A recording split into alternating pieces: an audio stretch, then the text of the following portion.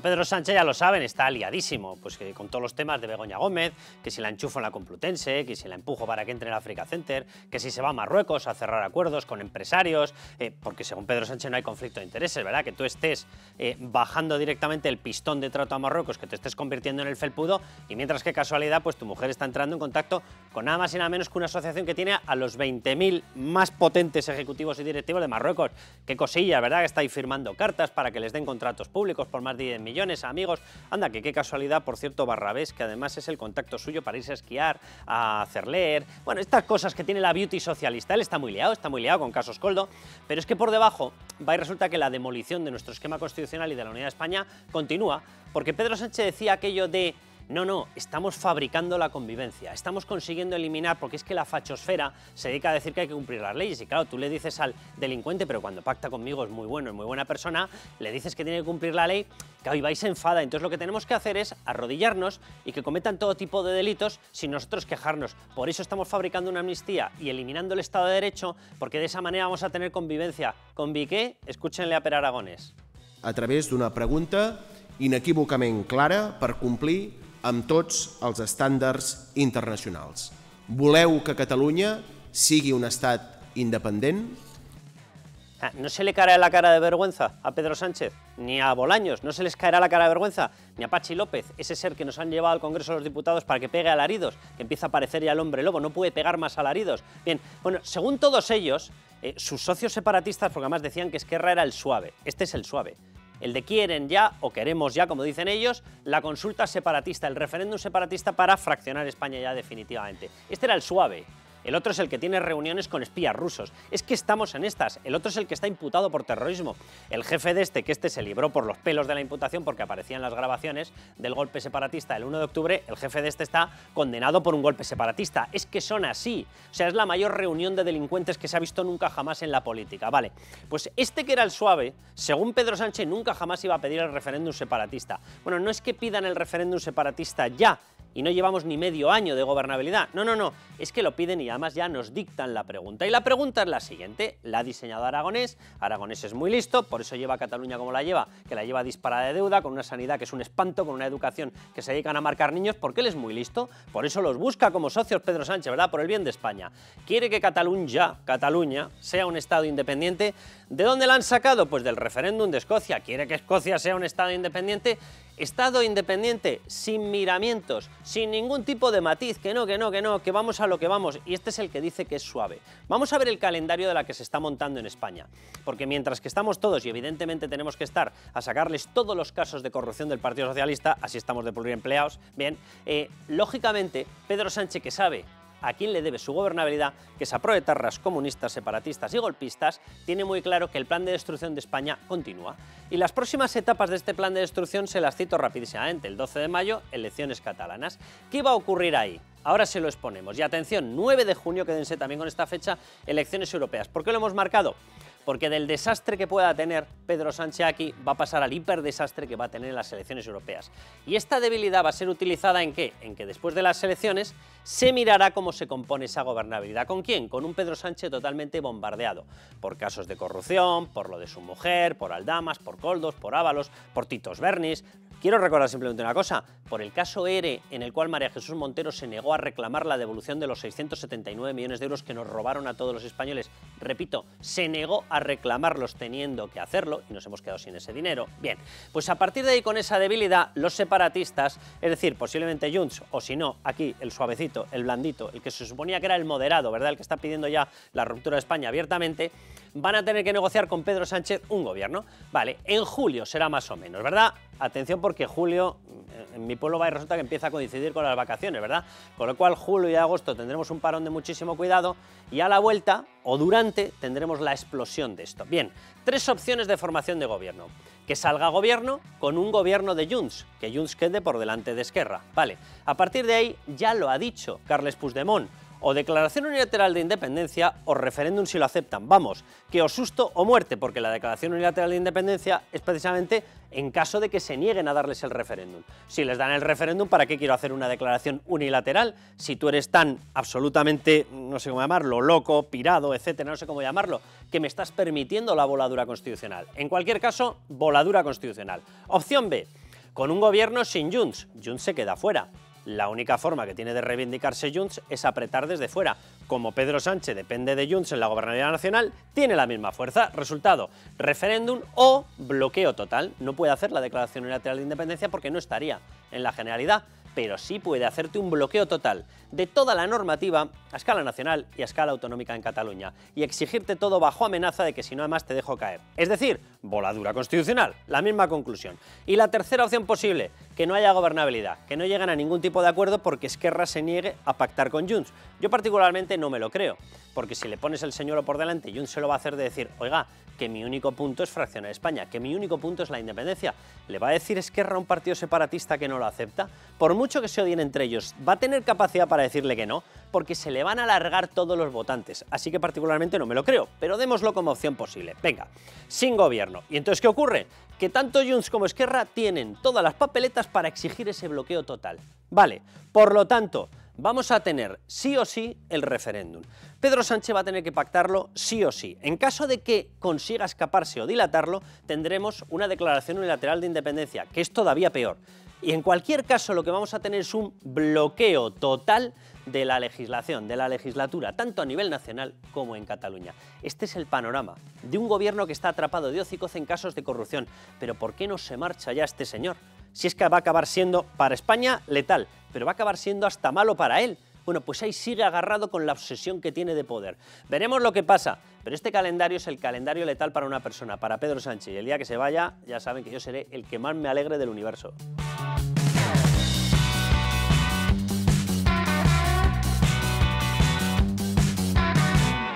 que familiares del gobierno mantengan reuniones con empresarios que luego reciben ayudas, se llama corrupción. Y usted sabe qué ha hecho, taparlo, taparlo, taparlo. Ese es el ministro de la amnistía, tapar la corrupción. Hala, pues vamos a escuchar al que pone la carita cuando está escuchando, si es que le estaba escuchando, posiblemente solamente le estaba oyendo, a Tellado, porque tiene más razón que un santo Tellado. O sea, yo eh, hemos llegado a un punto en el cual en España tienes que andar discutiendo lo más obvio, que la lluvia moja, que cuando ves que nieva lo mismo pasas frío, bien, y que lo que está haciendo Begoña Gómez es corrupción. O sea, que tú tengas una colección de amigos a los que enchufas en todas partes, intentando que les den contratos públicos, se llama corrupción en todas partes. Y tener que discutirlo es hasta obsceno, es patético, es ridículo es ridículo. O sea, tú no puedes ser la mujer del presidente, ir paseándote por las embajadas, por países africanos diciendo, soy la mujer del presidente. ¿Dónde está mi colaboración en los proyectos? ¿En qué proyectos? No, en los que acaba de firmar usted con mi presidente, con mi marido. ¿Y esto no es corrupción? Esto lo entiende cualquier persona. El sentimiento más básico de lo que es la justicia lo entiende cualquier persona. Luego están los que no estudian Derecho, como todos los que están en el Partido Socialista, y los que sí que lo estudian. Bien, esa es la única diferencia. Pero lo que es justicia lo entiende todo el mundo. Esto es una aberración lo que está ocurriendo. Para mí, desde mi punto de vista, no por volumen de dinero, no por millones, pero sí por la gravedad de lo que estamos viendo, el caso Begoña Gómez es de lo más grave que hemos visto en España.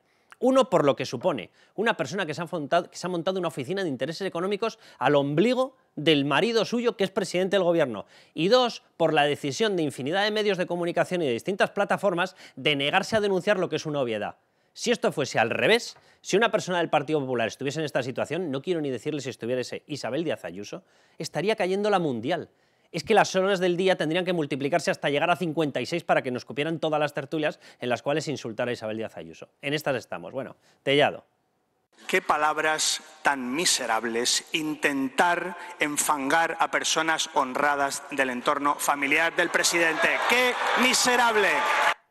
Es Bolaño, sí. Tellado no dice este tipo de cosas. Bueno, eh, Raúl Vilas. ¿Qué tal? Sandra León. ¿Cómo estamos? Bienvenidos. Yo no sé si compartir mi... Es que ya reconozco que tengo un cabreo con este tema, porque hace ya tanto tiempo que mm, uno y el del tambor, y el del tambor creo que lo ha vendido en Wallapop, eh, empezamos a hablar de lo que pasaba con Begoña Gómez. Yo estoy encantado, por un lado, de que evidentemente se hayan sumado ya medios de comunicación a hablar de lo que era obsceno desde el primer segundo, no desde el primer día. Una persona enchufada en la mayor universidad pública de España sin tener titulación universitaria da asco, literalmente, pidiendo a los alumnos que trajeran su titulación universitaria y se lo pedía una persona que de verdad es que hace lado con un canuto, literalmente, y le sale con curvas. Bien, eh, miren, yo, no sé si lo compartís, pero tengo toda la sensación de que gracias a Dios, y de eso va a ir este bloque, se ha generalizado ya la sensación de que esto es una oficina de intereses, de que detrás de Begoña Gómez, evidentemente, está Pedro Sánchez, y yo empiezo a tener la sensación de que esto se lleva por delante de este gobierno. Bendito sea Dios, para algo nos va a tener que servir Begoña.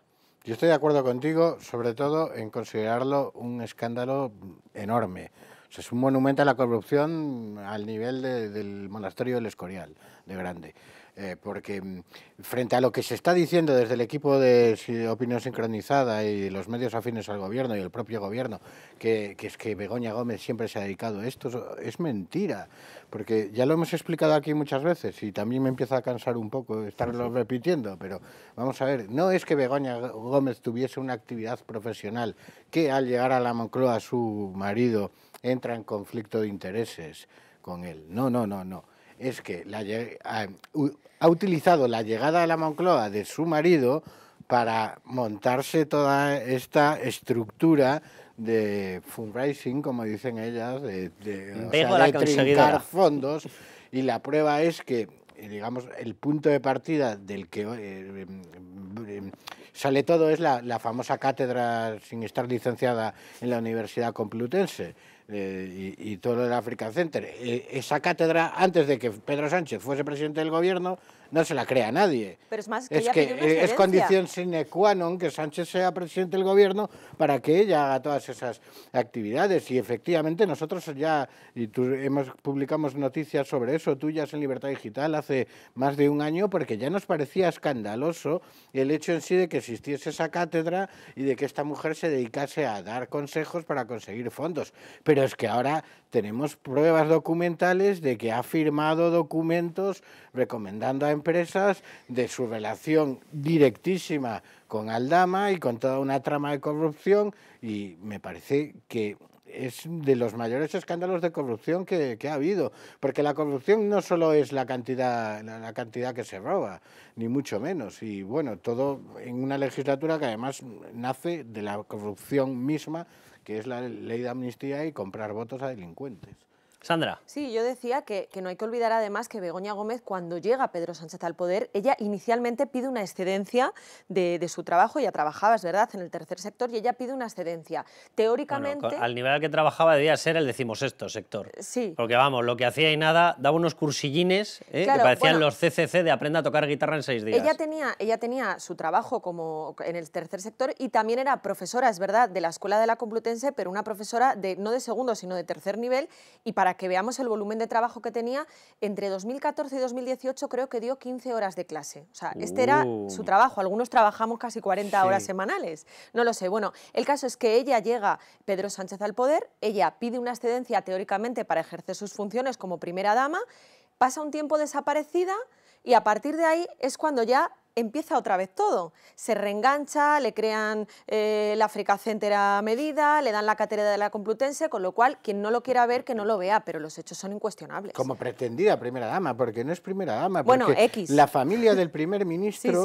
En, cualquier democracia no es nada. Eh, no bueno, pero quiero decir... Pedro Sánchez quiere ser el jefe de Estado, le gustaría, sueña con ello, pero no lo es. Pero en España ya hay un jefe de Estado y una familia la familia de Felipe y Leticia. Pero que ella en un primer momento da un paso atrás y sin embargo luego no es que vuelva a su actividad anterior, sino que da un paso no, tropecientos escalones más arriba. que tenía, la que pide excedencia, probablemente también estaba muy vinculada a que Sánchez no había llegado a la Moncloa, pero sí ya era líder del PSOE y ya era un político influyente. O sea, su entrada, en realidad todo es una construcción a la sombra del poder de su marido. A medida que su marido ha ido alcanzando más poder, se le han ido dando a, ella eh, eh, lo mismo, más poder, que ha utilizado además pues en tramas de corrupción, como estamos viendo. mm, Su entrada bajo palio en la Universidad Complutense coincide meses después de que consiga el asalto definitivo a la Secretaría General del Partido Socialista, en julio de 2017. Ahí es cuando por fin la crean un máster, no unos cursillines, no vengo aquí a dar dos clases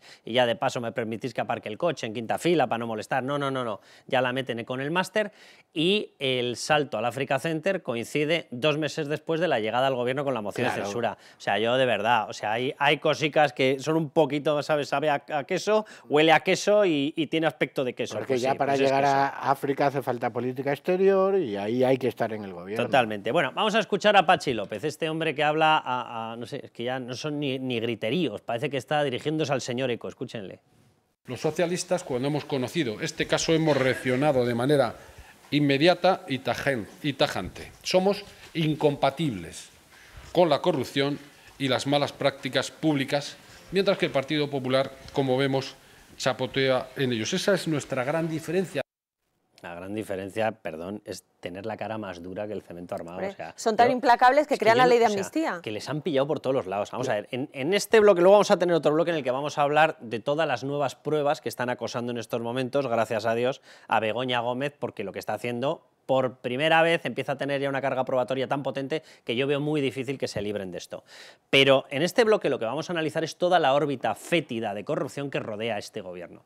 Y no es exclusivamente ya la cuestión de corrupción pura y dura, de los Titos Bernis, de lo que ha pasado en Canarias. En Canarias hay para dar y tomar, y casualmente todos los altos cargos del Partido Socialista en Canarias están todos recolocados, incluidos algunos en plazas diplomáticas de altísimo standing como Héctor Gómez. Es decir, cuidado con lo que está pasando allá, porque tiene la pinta de que se está pagando el silencio de una forma escandalosa. Lo de Baleares, los Coldos, los Ábalos, las Begoñas Gómez, etcétera, etcétera. No, es que simultáneamente se está negociando la demolición del Estado de, de Derecho. Simultáneamente, y lo publicábamos esta semana en Libertad Digital, ya ha pedido Bolaños acelerar el traspaso de las instrucciones, quitárselas a un juez para que lo hagan los fiscales. ¿Los fiscales de quién? A los que designe Álvaro García Ortiz. ¿Quién es Álvaro García Ortiz? ¿De quién depende la fiscalía y de quién depende? Es decir, quieren que las instrucciones sean controladas por el gobierno. O sea, eso se llama dictadura. Eso se llama dictadura, es que no tiene matices, ni dictablandas ni historias. Si tú controlas los procesos judiciales en su fase de instrucción, significa literalmente que vas a llevar a juicio oral a quien te dé la gana. Y que vas a conseguir que determinada gente, la casta, no vaya nunca jamás a juicio. ¿Les parece a ustedes que hay alguna diferencia entre dictadura y lo que yo estoy describiendo? Sí. O sea, eso es lo que está pasando en estos Y momentos. con lo de implacables se refiere a Ábalos, pero es ridículo pensar que, si de hecho la evolución del caso ha visto que sí, que Ábalos tiene una relación evidente, Pero más que nada por su vínculo con Coldo, pero no es de las personas que están apareciendo más Sí, en sí. los papeles. Y los vínculos de Coldo son tanto con Ábalos como con Cerdán. O sea que eh, implacables nada, ni, Ar- ni Armengol ha asumido responsabilidades, ni Ángel Víctor Torres. Ni Pedro Sánchez, que es la ni, cabeza. por supuesto Pedro Sánchez, porque, la, insisto, lo más escandaloso es la parte de Begoña Gómez. Pero es lo que tú dices, la corrupción no solo es económica, la corrupción es política y no hay mayor acto de corrupción que comprar eh, eh, una investidura, llegar al poder a cambio de eh, perdonarle delitos a unos delincuentes. Con lo cual... eh, eh, y una cosa, porque mucha gente verá en series eh, ameri- americanas de estadounidenses que allí son los fiscales los que instruyen, sí, en el sistema anglosajón y dirán y te pueden escuchar y pueden decir no, pero eh, eso pasa en Estados Unidos y no es una dictadura. Es que los fiscales se eligen. Son elegidos Claro. democráticamente, no se dependen votan, del poder no dependen del ejecutivo, gobierno hay- para nada. En cada distrito, fiscal del Claro. distrito, se celebran elecciones y la gente elige directamente al fiscal. Por eso allí tienen legitimidad absoluta para instruir sin que se pierda eh, la separación de poderes. Además, ni siquiera- en ni España es que el propio presidente del gobierno que está haciendo esta reforma alardea públicamente de que la fiscalía le, le- le obedece. Bueno, es que además es en, que- en Estados Unidos, que, que evidentemente están jugando a esa confusión, la elección es que además no tiene nada que ver con una cuestión ideológica. No, no, se les no. eligen para que bajen la delincuencia. Claro. Es decir, se les elige por los ciudadanos de X zona, este es el fiscal de Por este distrito, distrito, sí. y más te vale bajar la delincuencia y la criminalidad. Porque Porque, si no, no como no la bajes, no vuelves a claro. salir. O sea, no tiene nada que No, ver con no una votas cuestión a a un demócrata hombre republicano, votas No, no, al fiscal Boca- que funcione exacto. mejor. De hecho, muchos proceden de la propia policía. O sea, son gente con formación jurídica, pero proceden del cuerpo policial, muchísimos. ¿Por qué? Porque son gente que lo que se les pide es, no, no, oye, que me quites las bandas estas, que me quites a los tíos estos que van con pistolas o con ah, semiautomáticas. Punto. Esa es la historia. Pero bueno, vamos a ver a Sofía Acedo, haciendo del Partido Popular, haciendo un resumen de lo que está ocurriendo. Y luego les vuelvo a poner, ya sé que para desgracia suya y mía, a Pachi López. Pero vamos a escuchar primero a Acedo. Todo quedaba en casa, señor Bolaños. La primera empresa rescatada mantenía reuniones secretas con la esposa del presidente. ¿Casualidad o la razón estratégica de su rescate? Vínculos profesionales y económicos, el patrocinio de su cátedra y hasta contratos para que viajase en primera clase. Lo mejor es la cara de María Jesús Montero. Claro, María Jesús Montero debe estar riéndose porque dice, si no me habéis pillado a mí, que dejé de solicitar la devolución de los 679 millones de euros de los ERES, Esto- vais a pillar a todos estos. Pero bueno, Pachi López, para Tormento. ¿Dónde están las pruebas? ¿Dónde están las pruebas de las cosas que algunos de vosotros decís? ¿Dónde está el contraste con la realidad? Todo basado en cuestiones falsas y la mayoría inventadas. Ya está bien de dudar de la honorabilidad de personas que nada tienen que ver con este asunto.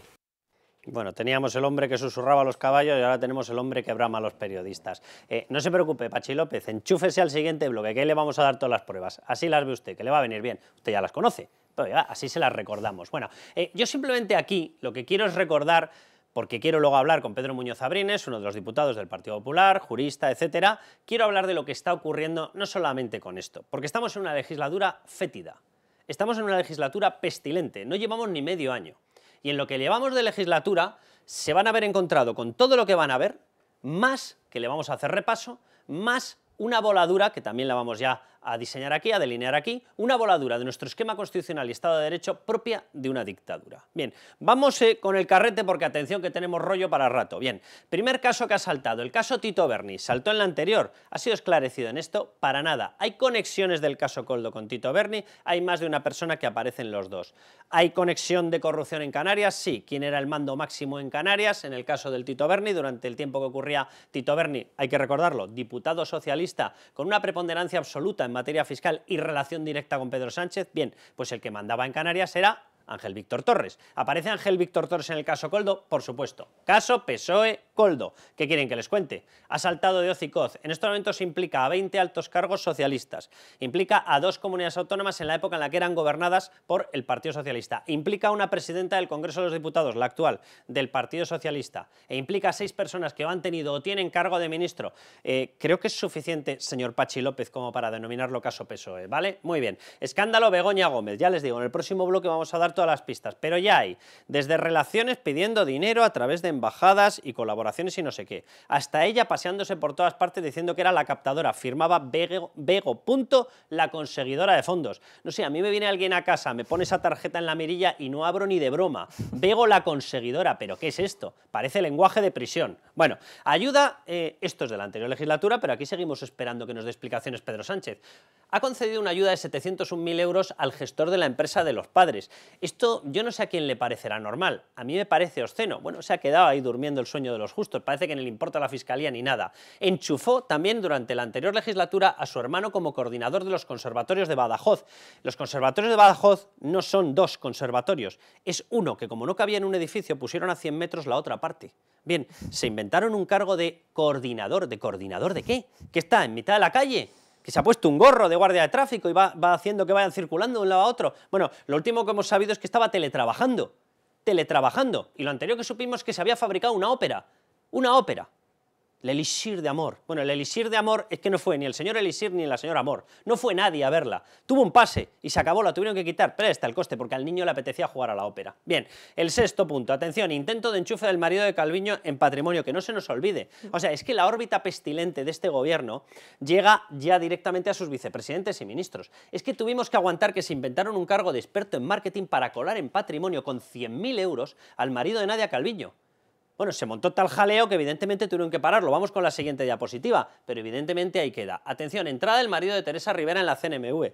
Es que otra de las vicepresidentas, según terminó el mandato en la Comisión Nacional de Mercados y Competencia, decidió que su marido, Bacigalupo, pasaba directamente a la CNMV.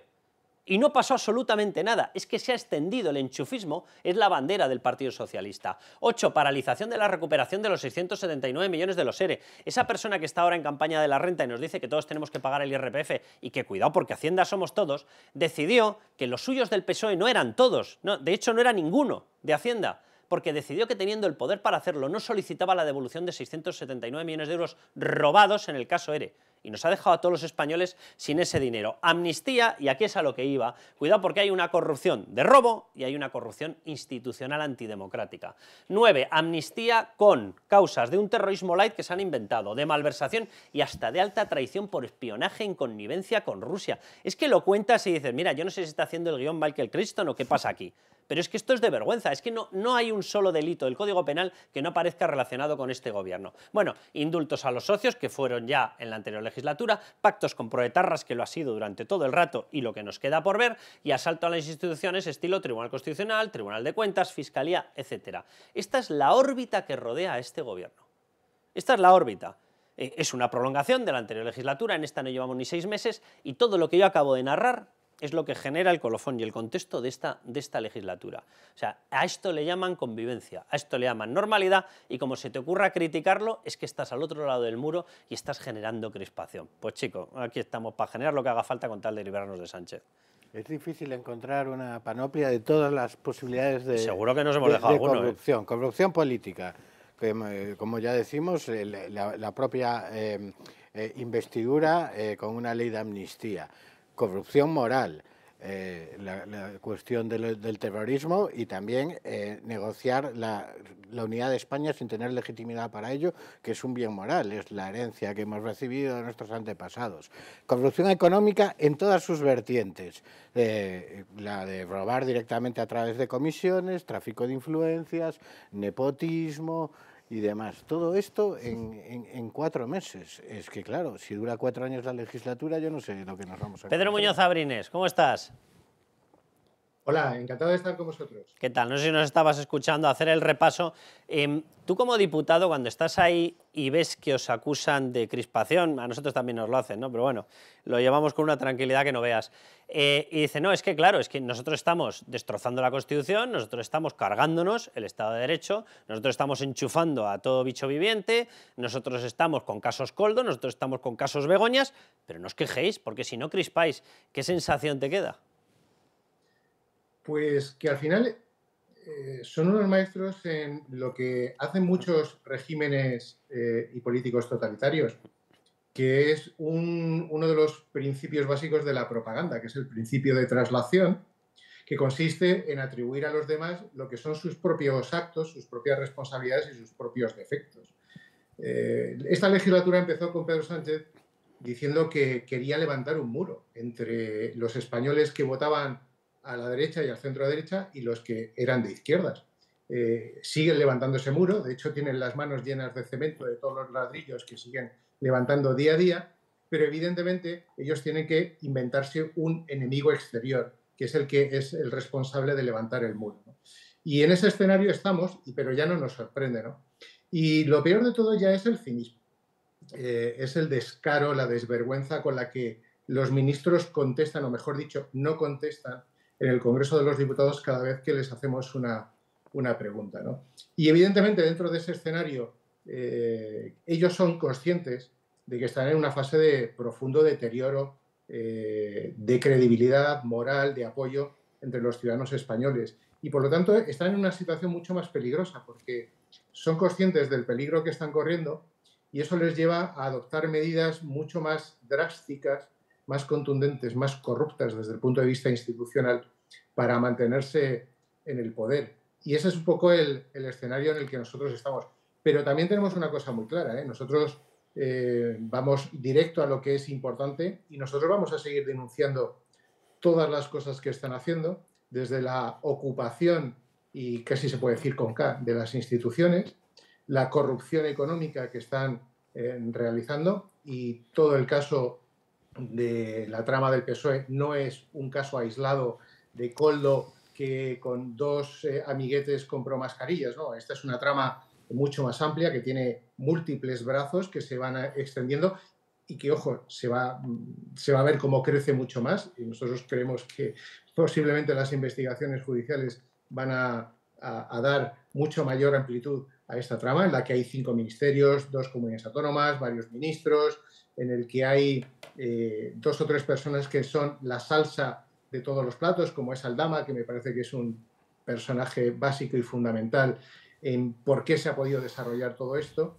como consecuencia de sus relaciones con el entorno más cercano de, Pedro, fíjate, Totalmente de acuerdo con lo que estás diciendo. ¿eh? Yo tengo toda la sensación de que esto no es un caso, sino que es la demostración de que se había convertido en un ecosistema. Es decir, este enchufismo generalizado que vemos, este cada vez que empiezas a mirar a una persona te aparecen más contratos, te aparecen más recomendaciones, te aparecen más rescates. Esta forma de, no, no, si no era Coldo, no, es que era Aldama, no, pero que no era Aldama, que era Rotaeche, no, pero que no era Rotaeche, no, no, que es que yo rebotaba. dices, bueno, tenéis tejida una telaraña que estáis copando absolutamente todo, y no eran solo mascarillas, eran EPIs, ¿no? y además también metían mano en los vuelos y demás. Pero yo tengo la sensación, eh, o es mi percepción, Pedro, no sé si la compartes, de que más allá de este caso, todos los partidos pueden tener casos de corrupción. El PP los ha tenido, los ha tenido PNV, los ha tenido eh, Esquerra, los ha tenido... Todo el mundo puede tener una manzana podrida. Yo tengo ahí un, un, cuenco de naranjas en casa, en la cocina, para hacer zumo y siempre que miras, oye, hay una abajo que empezó ya con mo y a ponerse mala. Esto es normal. El gran caso de corrupción que yo veo en este gobierno es el caso de demolición de quienes tienen que luchar contra la corrupción. O sea, lo verdaderamente significativo y diferencial de este gobierno es que ha decidido acabar con todo aquello que pueda denunciar y atajar la corrupción. El ataque a los jueces, la acusación del OFER, el ataque a la prensa, el decir que cualquier persona que denuncie un caso no tiene derecho a denunciarlo, el decir que la mujer de Pedro Sánchez es intocable, que simplemente mencionarla te convierte en un tiznao, el decir que los jueces tienen que pasar por comisiones parlamentarias en las cuales se les va a juzgar por haber hecho cumplir la ley, el señalar a jueces, a periodistas, a eh, guardias civiles, a policías en sede parlamentaria. Es decir, la gran diferencia que yo veo es el intento de acabar con el Estado de Derecho. O sea, el resto te puede salir un caso de corrupción en cualquier partido. Hombre, no tantos a poder ser como los del Partido Socialista, que parecen, esto debe ser lo único en lo que se han sacado una tesis doctoral real. Ahora, eh, la verdadera causa máxima de corrupción que yo veo, o la verdadera consecuencia brutal de corrupción que estamos observando, es que son los únicos que se han atrevido a lanzarle un jaque a todos los sistemas de control de la corrupción. Es que eso es así. Eh, todo lo que has contado está estrechamente vinculado unas cosas con otras. Ellos tienen, en primer lugar, una percepción eh, de deslegitimar, en primer lugar, la transición española. Por eso están permanentemente mirando al pasado y mirando con una melancolía incomprensible respecto a lo que fue la Segunda República, que es donde quieren volver. Y para eso tienen que disolver todo el sistema constitucional y todas las garantías que establece un sistema democrático moderno. Y por lo tanto, todo lo que son los ataques a los jueces, a los medios de comunicación, a la libertad de expresión eh, y a las garantías jurídicas, al Estado de Derecho y a la seguridad, eh, ¿cómo lo socavan? Pues por un lado sacan la ley de memoria, por otro lado la ley de amnistía. La ley de amnistía no solo es eh, un elemento fundamental para socavar el Estado de Derecho, es un elemento intrínsecamente corrupto porque lo que pretenden hacer es, además de acabar con la, transición de una manera indirecta y acabar con la Constitución, lo que pretenden es también eh, amnistiar la corrupción. Es decir, no estamos hablando de un problema puramente político, sino que ahí hay corrupción detrás, corrupción política, pero también corrupción económica.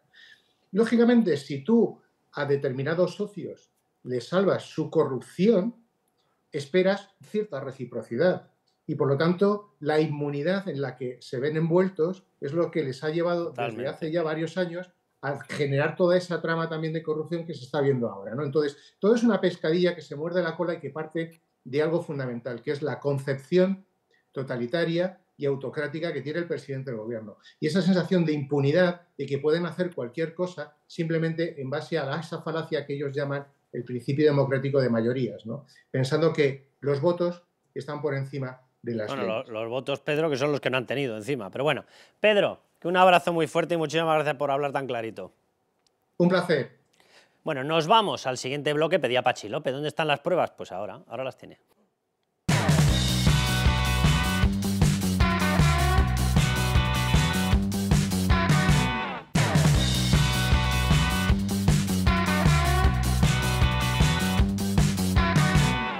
desarrollamos eh, una orientación muy práctica basada en cómo eh, profesionalizar eh, esa estrategia de captación de fondos para que sea exitosa dentro de la compañía. ¿no?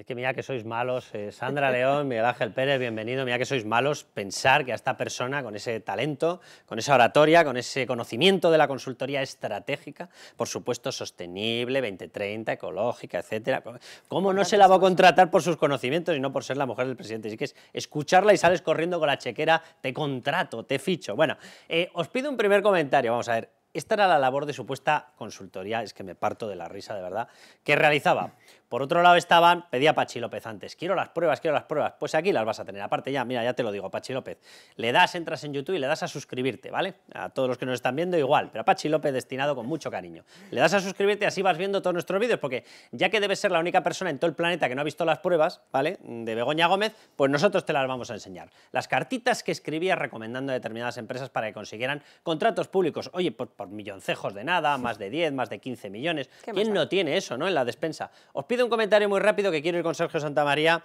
jurista, abogado, amigo nuestro, al que le voy a preguntar si esto eh, empieza a tener pinta de delito de tráfico de influencias, por supuesto de violación de la ley de conflicto de intereses o no. Pero muy rápido un comentario. Yo creo que no hace falta, vamos, poner ningún calificativo, ¿no? Yo creo que el hecho, y lo hemos dicho siempre, que la mujer de un presidente del gobierno sea Bego captadora de fondos, pues Eso era el mail, ¿eh? el mail que, ella se puso O sea, es que esto es incompatible, esto no se concibe en un Estado democrático y eso da lugar pues, a todo lo que hemos visto. Y las dos cartas que hemos visto esta semana, cartas de recomendación para que dos empresas consigan fondos del Ministerio de Economía, yo creo que es el mejor ejemplo para que cualquiera pues se dé cuenta de, lo tremendo que es todo esto. Luego lo desgranamos si quieres, pero, pero vamos, que, yo creo que, ya no se puede decir más claro. Ahora vamos a ver, Miguel Ángel, todo el proceso. Efectivamente enviaba la carta recomendando, entraban en el concurso, en el concurso en la parte subjetiva de valoración, que no era precio, que no era tal, sino en la subjetiva donde entraban las cartitas, casualmente obtenía la máxima puntuación, rebasaba todo el resto y ¡paca! Premio. ¡Hala! La adjudicación.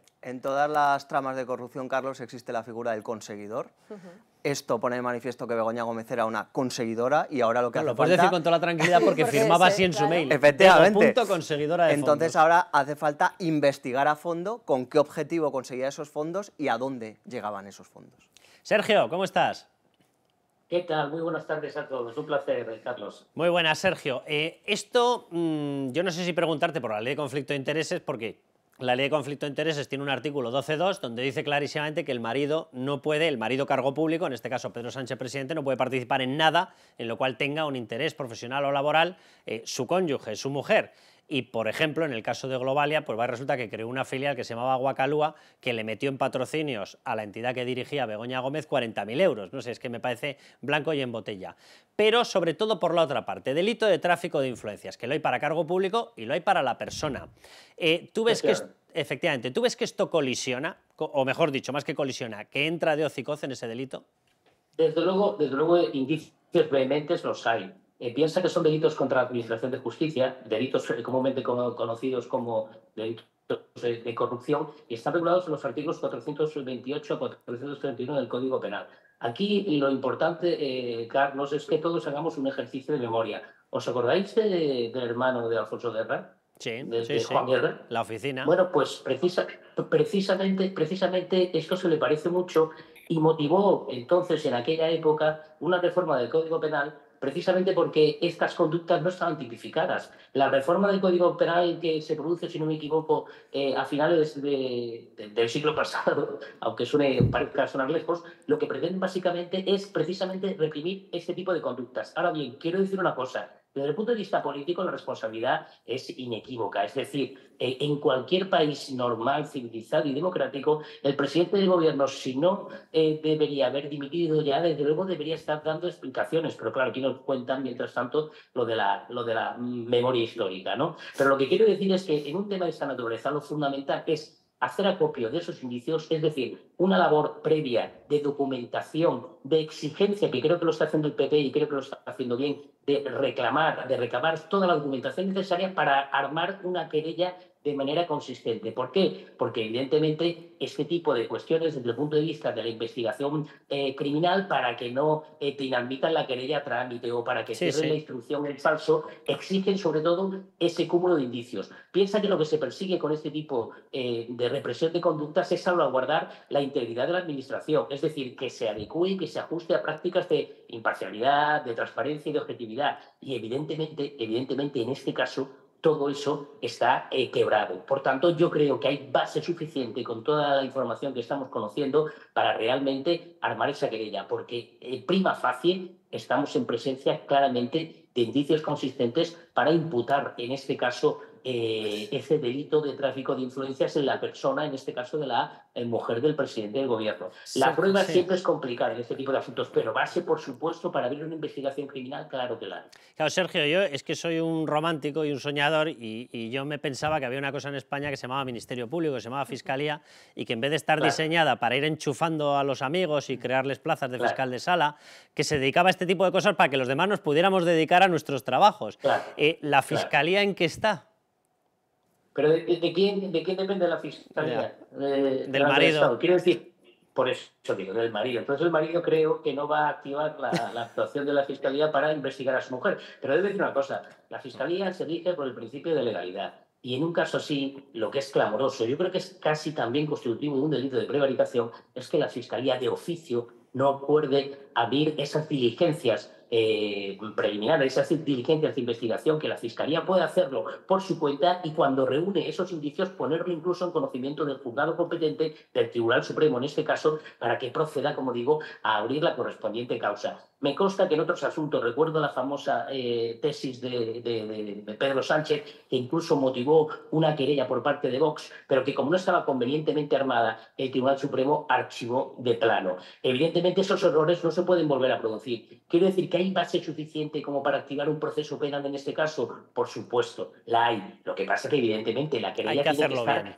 Sí, sí. efectivamente debidamente, debidamente armada. ¿no? Sergio, yo quiero- yo creo quiero- que debe hacer en este caso el Partido Popular, por ejemplo. Nada, déjame última pregunta que quiero recordar que tú, además, yo creo que fue en este programa donde dijiste ya o hablaste de este tipo de, de faltas de, de actuación por parte de la Fiscalía, porque una tal Yolanda Díaz, luego vimos que también iba un tal Santos Cerdán y que iba más gente a negociar con un prófugo de la justicia en lo que era evidente que iban a negociar para que no se pudieran aplicar las condenas por los delitos cometidos, lo cual les metía de hocicoz en otro tipo delictivo. Y la Fiscalía creo que todavía está soplando al molinillo de viento, ¿no? A ver si lo consigue activar. Este es el eterno problema. Quiere decir que en este tipo de asuntos, eh, hacer descansar la responsabilidad de la investigación estos delitos en, en partidos políticos, en particulares, en, en- en acusaciones populares, yo creo que es un craso error porque además eh, presenta el procedimiento penal como una especie de, de lucha de unos contra otros. Para eso están las instituciones, Total. para salvaguardar la calidad democrática de, de- de nuestra nación. Y a partir de aquí la Fiscalía General del Estado, en este tema, con todo lo que está saliendo, aunque sea difícil, porque las investigaciones y las garantías de un proceso penal son las que son, son muy potentes, pero evidentemente que la mujer del presidente del gobierno haga esas cartas de recomendación, que después quien gane esos concursos sean empresas que están en situación en los, en los que los auditores están diciendo que no son solventes, que incluso pueden estar incursas en un concurso voluntario de acreedores y que eso no haga saltar todas las alarmas en la Fiscalía demuestra la degradación de nuestra democracia desde el punto de vista institucional. Es tremendamente grave que esto no sea objeto de preocupación seria en la Fiscalía. Pero bueno, ya sabemos en manos de quién está la Fiscalía. A partir de aquí, evidentemente, yo creo que instituciones, partidos políticos eh, deben eh, activar una investigación porque en este caso, insisto, más allá del recorrido que luego tenga, hay base suficiente como para interponer eh, una querella criminal por tráfico de influencias. Con toda claridad, insisto, me remito, lo digo porque la memoria a veces es flaca y frágil, me remito al caso del hermano de Sí, sí. Alfonso Guerra. Y ese tema el Tribunal Supremo lo abordó y lo abordó con muchísima consistencia. Y precisamente en este caso yo creo que se dan todos los elementos para que el camino a seguir sea el mismo. Y que en todo caso aquellas personas que han recibido esa presión o esa influencia que tengan la gallardía también, la coherencia y la honestidad de reconocer que precisamente, que seguramente no lo harán, han concedido esas adjudicaciones a empresas que no lo merecían cargándose el principio de mérito, de capacidad y de libre concurrencia, porque realmente recibieron esa presión, por, probablemente de una forma indirecta o de una forma velada, de nada más y nada menos que la mujer del presidente del gobierno. Eso, en cualquier país de Europa, en Estados Unidos, haría caer al presidente del gobierno desde el punto de vista del ejercicio de la responsabilidad política. Pero estamos donde estamos y mientras tanto el presidente del gobierno se dedica a distraer la atención con todas las pantomimas que están montando. Ayer mismo vimos la que organizó en el Valle de los Caídos. Me parece realmente lamentable y la opinión pública tiene que ser consciente de que estamos viviendo un auténtico eh, eh, tiempo negro, oscuro en nuestra, en nuestra democracia parlamentaria. Sergio, un placer. Muchísimas gracias. Como, como siempre, un abrazo fuerte. Gracias a vosotros. Adiós. Pues el abogado, mm, el jurista dice indicios vehementes. ¿Y la fiscalía qué hace? Una vehemencia de inacción. Eh, yo no quiero chinchar más, no va a ser que me acabe ganando yo la querella, pero la inacción premeditada cuando sabes que actúas en contra de la exigencia legal incurre en otro tipo delictivo. Claro, Miguel Ángel, ¿qué quieres que te diga? Si es que aquí vamos de delito en delito. Pero bueno, quiero que veamos más a esta, la consultora del momento, la Rising Star. Atención, Begoña Gómez, porque aquí directamente se ofrece para captar fondos. Venga porque se necesitan profesionales que puedan diseñar, que puedan incorporar eh, estrategias de captación de fondos que sean multicanal, ¿no? es decir, que al final eh, pues puedas acceder eh, bien presencialmente, bien de forma digital, bien a través de una campaña de telemarketing, cómo conectar los diferentes canales y al final acercarte también a diferentes perfiles yo no sabía que hacía falta tantas palabras para explicar. Mira, que aquí estoy yo para conseguir fondos. ¿Eh? Venga, Bego, la conseguidora de fondos. Eh, Miguel Ángel, ¿qué te parece? A mí me parece surrealista escuchar a Begoña Gómez, Carlos, y yo no creo en las casualidades. multicanal, mira, en este bolsillo, en este, en este otro y en este. Todo muy multicanal, todo muy... ¿eh?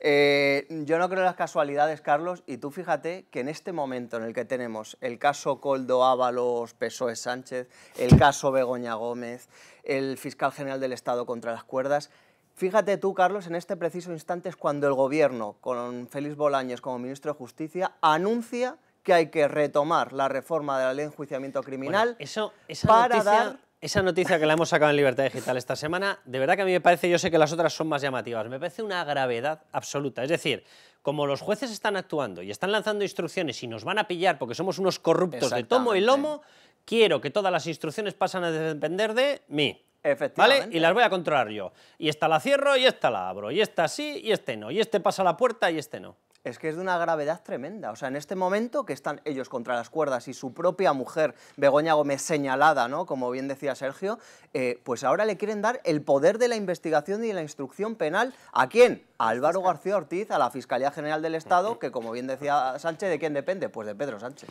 Para que pare, pues entre otras cosas, Pachi López, ahora es tu momento. Mira, pedías las pruebas, aquí las tienes, toma nota. Bien, vamos allá. Vamos a ver, estas eran las cartitas, o sea, pruebas hay a patadas, porque los meros vídeos, los simples vídeos que hemos mostrado pidiendo ella, ofreciéndose ella para captar fondos, que por cierto, en el máster que tenía en la Complutense, en un determinado momento, porque luego lo ocultó, ponía abiertamente para captación de fondos públicos. Es decir, la mujer del presidente se publicitaba para enseñar a captar fondos públicos de los que repartía su marido. ¿En serio que hay que explicar que esto es una aberración jurídica, moral, política, legal? ¿En serio que hay que explicarlo? Vale, de esas tienen todas las que quieran. ¿Vale? Incluso la propia entrada en la Complutense. ¿Por qué entra como entra ella, con un máster, con una cátedra, una persona que no tiene ni carrera universitaria? Eso no es un tráfico de influencias como la Copa Opino, no es un enchufazo, pero vamos, de tomo y lomo. Bueno, pero vamos a lo último que se ha aportado, las declaraciones de interés, las cartas de apoyo del máster, el suyo, el de Begoña Gómez, aquí su firma, por cierto, para los calígrafos, analicen esto, Dios bendito lo que van a sacar de ahí. Bien, vamos a dejarlo que da para todo un programa entero. Firmando la mujer del presidente, recomendaciones a determinadas empresas, Barrabés, Andevali, ¿para qué? Para que se les concedieran contratos públicos. Contratos públicos que se están sumando y los que pasaron directamente por ahí ya superan los 10 millones. Los que se le concedieron posteriormente ya superan los 18 millones. Es decir, cifras escandalosas. Y dirán ustedes, pero bueno, esto sería un papelito más, como ha dicho Bolaños, un papelito más. Bien, vámonos a cómo se hizo el recuento de las puntuaciones y cómo se le regaló ese contrato. Bien, aquí lo pueden ver. Bueno, Deval y Digital Business presenta un precio, que el precio no es ni el mayor, 3,6, ni es el menor, 2,9, había algunas. Y ahí se quedaba, por decirlo de alguna manera, con una puntuación en el medio. Iba por delante Altea Consultores. ¿Hasta qué ocurre? Hombre, iba por el medio hasta que entran los criterios cuya valoración depende de un juicio de valor las cartas. Oiga, ¿y qué noticia le arrean? Le arrean un 10, o sea, pero sin miramientos. ¿Y porque no, no le pudieron poner un, 26? Oye, matriculísima de honor. Y al arrearle un 10, claro, suman y la media dispara el 7,93 que tenía por los criterios objetivos y entonces ya sí, ya hemos conseguido elevar, toma, patada para arriba y entonces ya entra con un 8,76. Por cierto, incluso con el regalo del 10 por ser el hijo del jefe, consiguieron por los pelos la adjudicación. o sea, ¿cómo debía ser? Pero por los pelillos, 868, 876. Bueno, esto no ocurrió una vez, ocurrió más veces, pero por si tienen algunas dudas dicen, ¿y se les dio el contrato? ¿En serio, con esta desvergüenza? Siguiente diapositiva, se les dio el contrato y ahí se publicó adjudicatario, UTE de Bali Digital Business School, Innovanex, sí, muy bonito, Barrabés, el amigo. ¿Y quién era Barrabés? Anda, el que le había montado en la Universidad Complutense el máster el máster en el que nunca tuvo que entrar porque no tiene titulación universitaria y el máster desde el cual le firmó la carta de recomendación. dice, espérate, como decía Sergio, es verdad, o sea, indicios vehementes. O sea, para que la Fiscalía actúe bastarían indicios. Esto es un indicio obsceno. O sea, es que no puede ser más cantarín, es que lleva un cartel de neón encima de la cabeza y una bandurria tocando permanentemente. Sandra, yo sé, yo, de verdad, todo ya documentadito. Señor Pachi López, tome nota. Para mí hay dos cosas, lo particular y lo general de lo particular, yo creo que este concurso público, o sea, es, que clama al cielo. Estamos hablando de que gana el concurso por una décima y precisamente para que, no la, para que lo pueda ganar le tienen que poner un 10. No sé, que te den un 10 no es tan fácil en un concurso público en la parte de los juicios de valor y sobre todo... La gente que sabe de esto dice que es rarísimo ver Por un eso, por eso digo, que es, bueno, lo particular es escandaloso, ¿no? Pero luego tú decías quién es Barrabés y todas las conexiones. Y claro, eh, volviendo a lo que yo decía en el, en el bloque anterior, es importante atender a todo el currículum de esta señora, ¿no?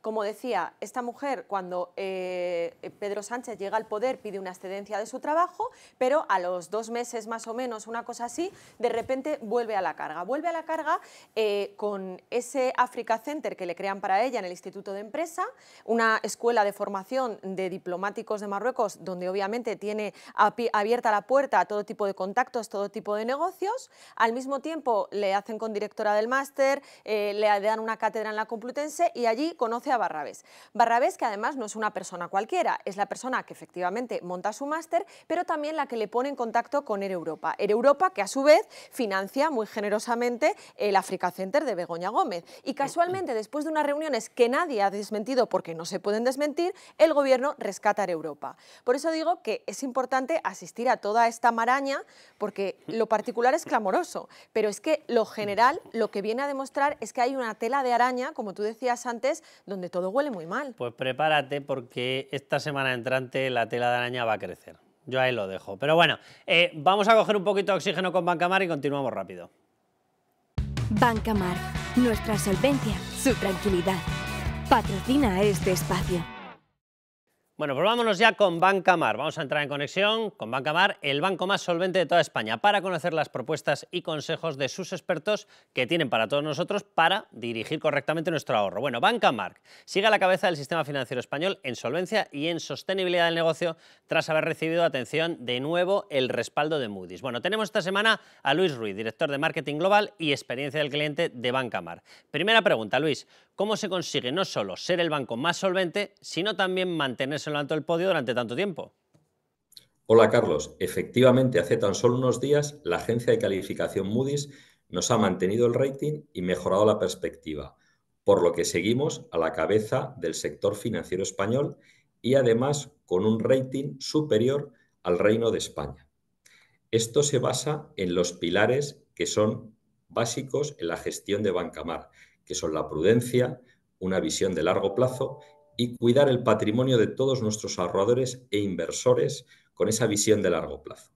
Esto consigue tener un modelo único e irreplicable donde crecemos de forma conjunta con los clientes, los accionistas, los empleados y la sociedad en su conjunto. Luis, ¿hasta qué punto está relacionada la solvencia con el ahorro? Yo diría que más que relación hay correlación, es decir, una cosa va unida a la otra. Básicamente es la mejor carta de presentación que tenemos. Y pregunto yo, si un ahorrador va a depositar su dinero, ¿lo haría en una entidad en la que no confíe o lo haría en aquella en la que confíe? Creo que la pregunta eh, y la respuesta también es clara.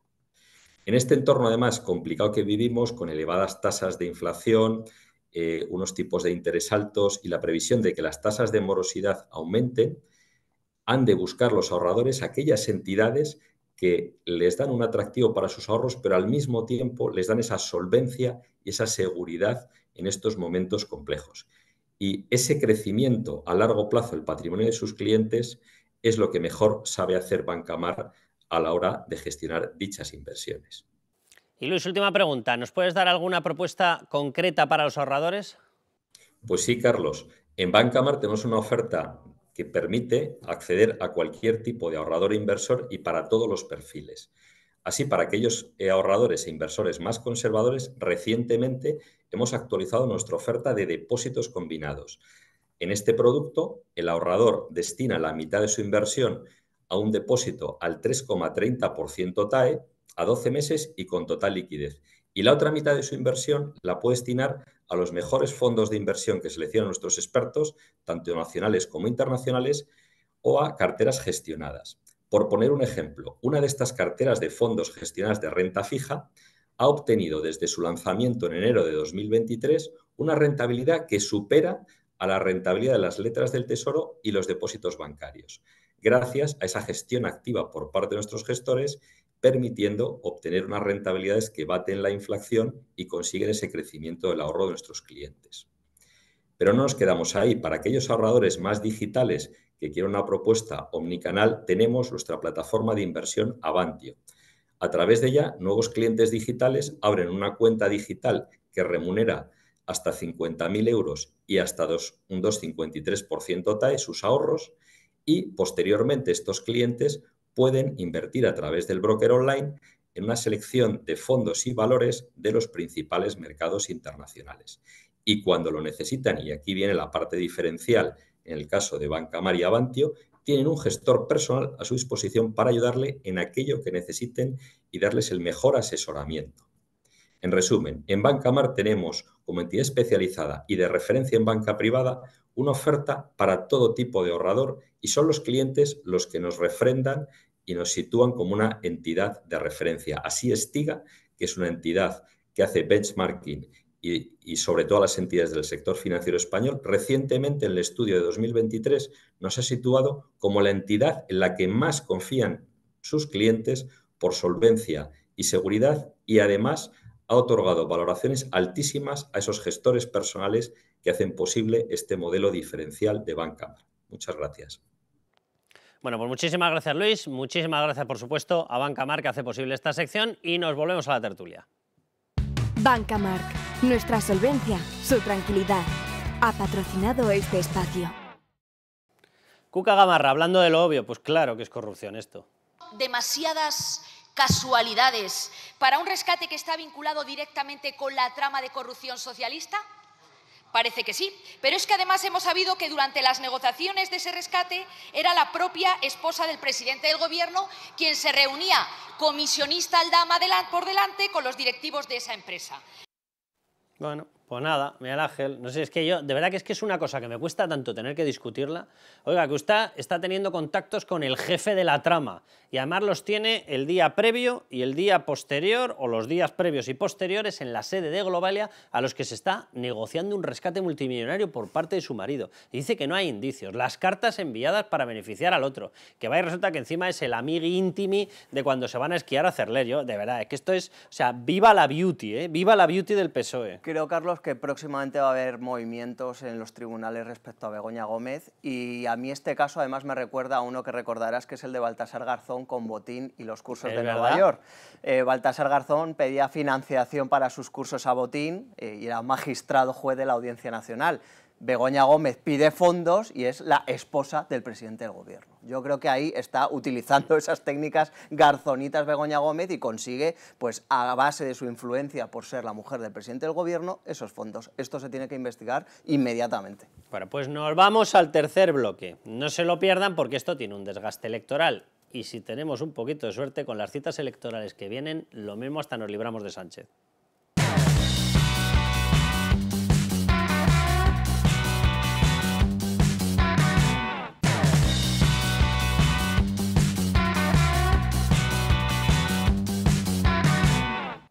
Bueno, pues viene todo el rally electoral. Empezamos por las vascas, seguimos por las catalanas, luego vienen las europeas y a lo mejor, quién sabe, vienen otras, ¿no? Pero bueno, vamos a hablar de todo esto. Vamos a hablar con Carmelo Jordá, está también Luis Fernando Quintero con nosotros y vamos a hablar de qué repercusión puede tener. Vamos a hablar con Carlos García Danero, diputado del Partido Popular, para que nos diga, conoce perfectamente el territorio navarro es navarro y conoce lógicamente a los primos de arriba. A ver qué es lo que puede ocurrir por allá. Bien, eh, vamos a ver qué es lo que está pasando. Yo quiero que escuchen, porque según Pedro Sánchez tiene calmados a sus socios. Sí, calmadísimos. Escuchen a Otegui.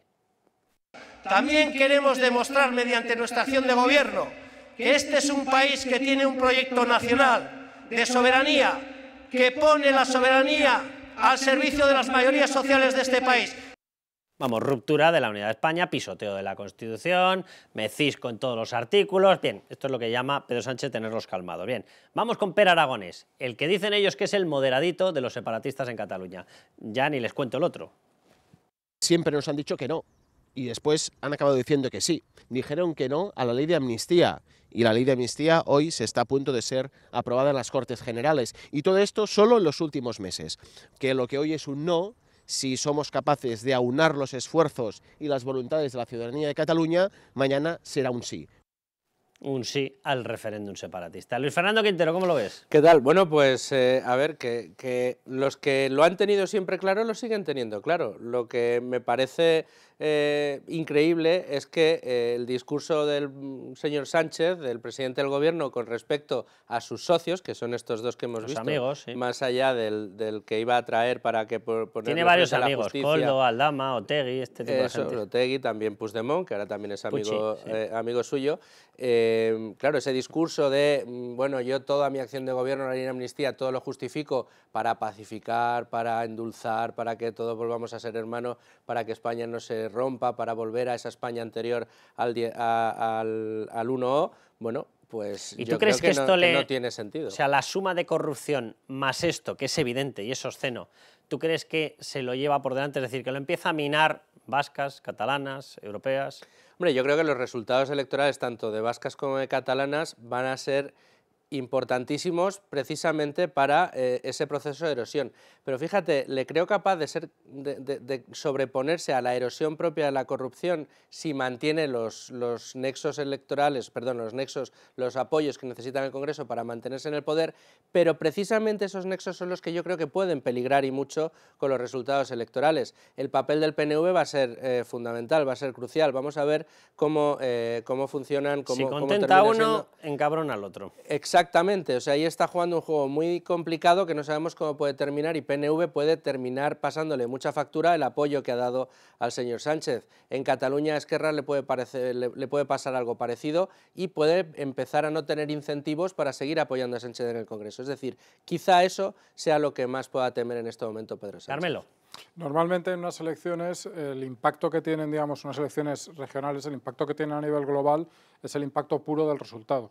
Galicia, el PP consigue un resultado y eso parece que anime a más gente a, las siguientes encuestas ponerse del lado del PP y el PP sube. Aquí yo creo que el impacto electoral será diferente porque será un poco de lo que salga, digamos, de cómo se configure el poder en esas regiones después, porque eh, no va a haber o en principio, si no hay grandes sorpresas, en, todas las elecciones, digamos, por ejemplo, el PP tiene un papel, llamémosle secundario, no va a ganar ninguna de esas elecciones, pero efectivamente tiene gran importancia lo que pueda ocurrir después. Y lo que pueda ocurrir después, yo creo que son habas bastante contadas. En el País Vasco hay tres escenarios posibles, o sea, dos escenarios posibles, mejor dicho. Uno que es que gobierne Bildu y otro que es que gobierne el PNV bueno, eh, que gobierne el PNV le puede más o menos ser un parche útil para que la cosa siga según cómo se produzca el resultado, pero que gobierne Bildu va a cambiar las cosas también a nivel nacional. Y en, en Cataluña hay dos resultados, o gobiernan los nacionalistas o se repiten las elecciones. No, Exacto, gobiernan los nacionalistas o gobiernan los nacionalistas. ¿eh? No, no hay otro posible resultado. Porque, los nacionalistas están ya, con lo cual, si se repitiera, seguirían los mismos. Pero, quiero decir, pero efectivamente eh, sí que son trampas, verdaderas trampas en el camino de Sánchez, que después de esas elecciones gestionar los pactos que sean necesarios, el apoyo a uno y no a otros, va a ser muy difícil. Luego te voy a pedir eh, que con todos los gráficos vayamos haciendo un repaso de los escenarios electorales. Pero quiero que escuchen esto y nos vamos a hablar con Carlos García Danero. Atención, ¿eh? porque hay que según el PSOE que no va a ceder. Ya, claro, claro. Y la tercera cuestión, el referéndum. Nosotros somos contrarios, absolutamente contrarios al referéndum de independencia. Nosotros siempre hemos dicho, claro, lo que pasa es que cada vez que decimos esto, luego hay quien nos busca la interpretación que no tiene nada que ver. Un referéndum para nosotros es aquel que refrenda un acuerdo. No va a haber nunca acuerdo con los socialistas para la independencia. Le falta las risas esas enlatadas de las comedias americanas. Pero bueno, Carlos García Danero, ¿cómo estás? Hola, ¿qué tal? Muy bien. Carlos, la pregunta del millón. Vamos a ver, empezamos este rally electoral. Yo sí tengo la sensación de que el Partido Socialista va a sufrir en cada una de las citas, es decir, en las vascas. Yo creo que sí que se va a dejar pelos en la gatera. En las catalanas ni te cuento, y además tengo toda la sensación de que se va a encontrar con una más que probable eh, ansia barra posibilidad de gobernabilidad y no va a poder frenarse la de un tal Carles Puigdemont, ese señor al que decía Pedro Sánchez que lo iba a traer engrilletado y preso, sí, sí, lo va a traer con cargo, chofer, coche oficial, residencia oficial, sueldazo, etcétera. Y en las europeas lo mismo. Te lo pregunto directamente, Carlos, ¿tú crees que ha empezado la debacle de Sánchez? Pues es evidente. Eh, el tema, yo, estoy de acuerdo que el tema de la corrupción, eh, mientras le den los apoyos electorales, a este le da igual aunque es verdad que todo el tema que le afecta o que tiene que ver con su, con su mujer sí que le está afectando y se le nota en las respuestas que da sobre el tema, se le nota mucho, ese tema le preocupa, eh, lo de su mujer, el resto le da igual. Y luego, en cuanto a las elecciones, yo creo que el País Vasco le va a afectar menos, porque eh, yo creo que va a ganar Bildu en el País Vasco, pero que va a gobernar el PNV con el Partido Socialista. Hombre, ahora eh, tiene una jeta de mucho cuidado, ¿no? Porque oír ahora al candidato socialista decir que Bildu es el lobo y que con Bildu no se puede pactar, etcétera, cuando nos cuando, cuando ha pegado lo que ha hecho en Pamplona, pues es, una, es que es una vergüenza, les da igual todo a estos, dicen una cosa y luego la contraria.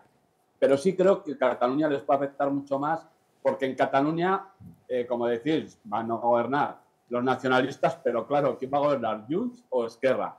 Y va a tener un problema, porque o, o le dan la presidencia a Puigdemont o Puigdemont va a romper la baraja. Yo creo que no va a seguir, si él no consigue la presidencia, no va a seguir apoyando. Y ahí sí que puede tener un problema serio eh, Sánchez, ¿no? Con, con Puigdemont, porque así como Esquerra no lo veo capaz de romper los acuerdos ni a Bildu ni al PNV, a Junts sí que lo veo muy capaz de, si no saca lo suyo, pues acabar con todo el Pero y Carlos, si, si le da la gobernabilidad en el País Vasco, por ejemplo, a PNV, vamos a ver, Bildu que viene de donde viene, es que su pasado directamente es un partido, es un el partido Batasuna, que era parte de una banda terrorista, es decir, eh, es que tiene metidos, de hecho, diócicos terroristas por todas partes, es un partido lleno de terroristas.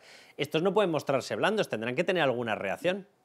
No, eso es eh, evidente, ah, pero, pero Bildu tiene las prioridades de Bildu en el blanqueamiento, que eso ya lo han conseguido, porque lo que dices tú, o sea, después, no, no ya del pasado y el futuro que tienen, ellos sus aspiraciones las dice claramente Otegui, ¿no? Eh, anexión de Navarra para luego pelear por la independencia, presos a la calle, fuerzas de seguridad del Estado y ejército fuera de la Comunidad Autónoma Vasca, etcétera, etcétera. claro, si queda, si queda primera fuerza, Carlos, no se puede volver luego a los suyos y decirles, oye, que todo lo que os prometí, que nada, ¿eh? que es que le tengo que hacer la pelota a Pedro Sánchez. Pero eso sí que habrá ahí una tensión, yo estoy de acuerdo contigo, pero, lo que, pero sacar algo bajo, bajo manga, es decir, su prioridad, ¿cómo puede vender eso? Bueno, pues si al día siguiente te a los presos en la calle, por ejemplo, pues es vendible.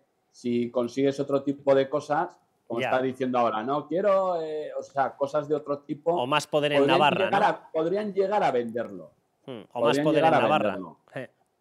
Evidente, evidente. Ellos al final prefieren tener más poder en Navarra porque lo que quieren hacer es ir a tierra conquistada. Eso es así. O sea, al final la alcaldía Pamplona para ellos no es gobernar un ayuntamiento más por la gestión.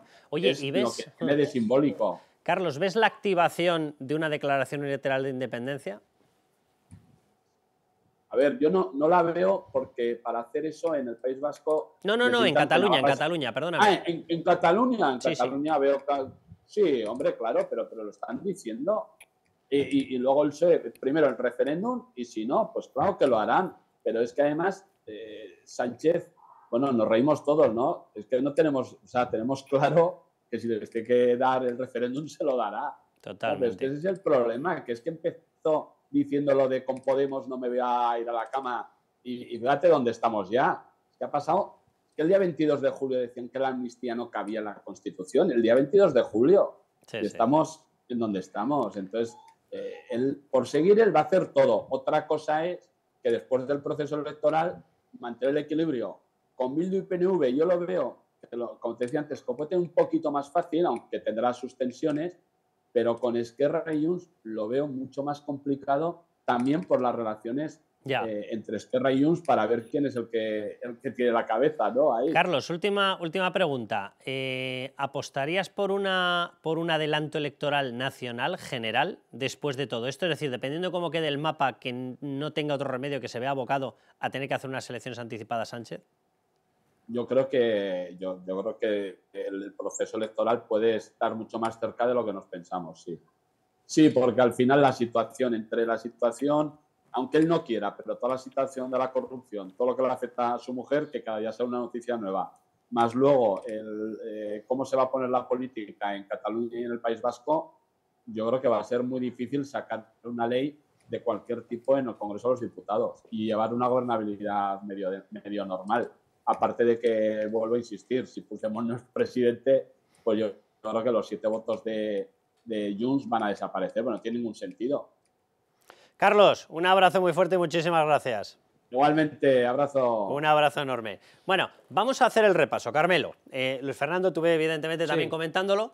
Eh, estas son las vascas. Atención, 33,9 le dan a Bildu, son las encuestas que tenemos. Eh, tenemos elecciones en nada, 2 de abril.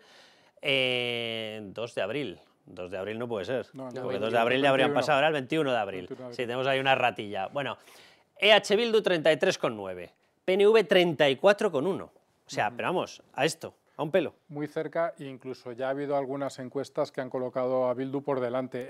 a mí me parece que la trayectoria de ambos partidos es muy clara y es más bien descendente la del PNV, más bien ascendente la de H. Bildu.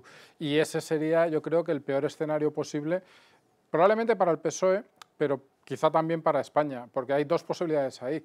Eh, yo no comparto el análisis de Carlos García Danero de que H. Bildu vaya a renunciar al poder. Nunca jamás un partido del corte ideológico de H. Bildu ha renunciado al poder y desde luego cualquier cosa que pretendas la llevas a cabo mejor desde el poder que desde una posición vicaria. Luego además ahí hay una cosa que yo creo que la gente no es consciente, o sea, el PNV, Luis Fernando lleva muchísimo tiempo. Han tenido cuestiones de eh, cortafuegos fiscales para que no se inspeccionara a empresas que tenían todo el tufazo de que estaban financiándoles.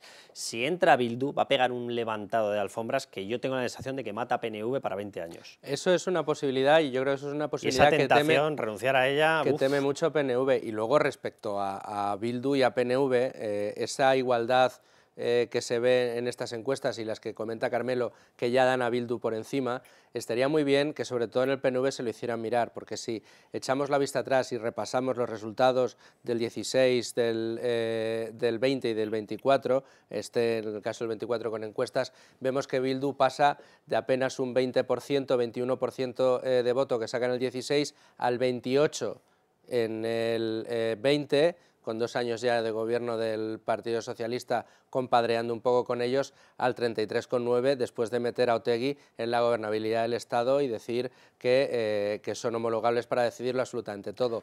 PNV lo que ha hecho ha sido perder poder territorial respecto a Bildu, no solo en País Vasco, sino también en Navarra. En las generales se veía cómo en Navarra el crecimiento de Bildu ha sido espectacular y eh, están a un punto, están a un paso de perder el poder. En... Bueno, que me dicen que la fecha fecha no es que esté mal, es que es cuando se han hecho las elecciones. Claro, nosotros estábamos pensando en la fecha de celebra las encuestas, perdón, en la fecha de celebración de las elecciones. Por cerrar, o se activa la bomba nuclear, es decir, Bildu pasa directamente a gobernar, con lo cual se acabó, porque van a pedir evidentemente el referéndum separatista, o en caso de que tenga que ceder y sea PNV, Bildu se lo va a cobrar en Navarra y encima presos a la calle. No sé qué es peor, Carmelo. No, pues hay un escenario creo que es peor, que sería el gobierno de Bildu y el PNV. Yo no lo veo muy claro, pero es una posibilidad bastante clara. Es decir, si el Eso te activaría la declaración de independencia. Si Bildu queda primero, es decir, que el PNV lo admita como única forma de mantener algo de poder y eso nos lleva a un proceso aceleradísimo de independencia. Venga, vamos con las catalanas. Ahí, perdona, el chantaje que tú eh, eh, sugerías antes, precisamente de lo que hay debajo de las alfombras y a lo que sí que tendría acceso EH Bildu, sería evidente para un gobierno en el que fueran de la mano.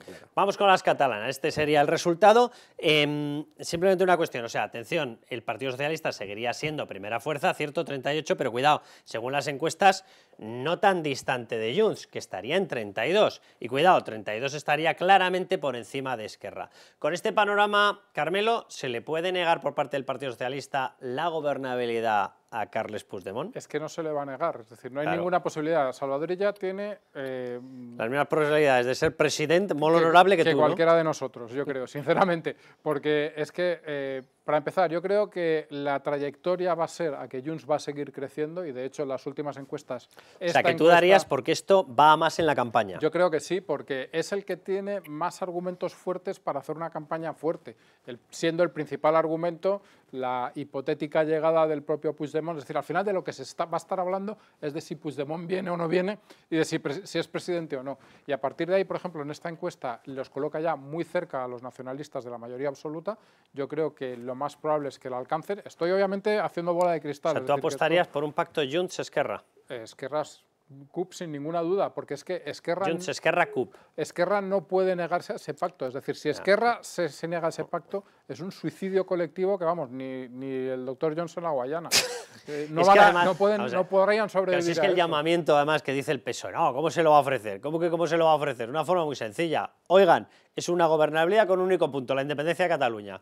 Como digas que no, es que no vuelves a pisar un garito independentista en tu vida. Y, y, y eso si, eh, si, si Junts no avanza sobre Esquerra, quiero decir, en Esquerra han centrado su discurso en la independencia también, y si el candidato que llega de Junts es el único que ha, digamos, tenido arrestos durante los últimos años para plantearla, llevarla a cabo y tener que exiliarse en un gobierno, desde luego tienen clarísimo que el que va a ir a por todas, sin ningún género de dudas, es Puigdemont. Si Yo estoy con Carmelo. Es, si el resultado Venga, es todavía más contundente, un 30 y muchos a 20 y pocos, la es cosa que es, no, más, es, que es, no tienen... más descarada.